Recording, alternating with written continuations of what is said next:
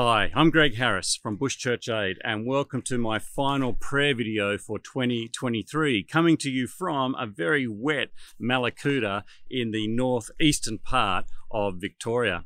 I'm here because we've just had the Bush Church Aid Nomad Gathering. It's a gathering that occurs every 18 months or so for these wonderful volunteers within BCA.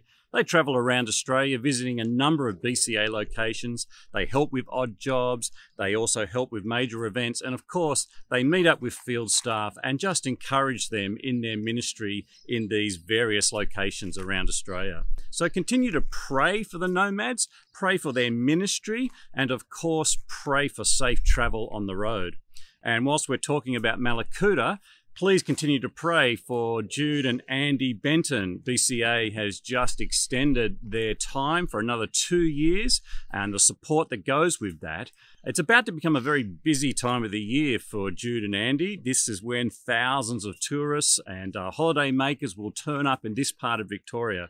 So pray for them as they minister to the locals and also to the very large number of tourists and holiday makers at this time of the year. So until next year, you know what to do. Please continue to keep subscribing to the prayer notes and all the other options within Bush Church Aid. Thank you for your support, both your financial support and, of course, your prayer support. And until next year, God bless.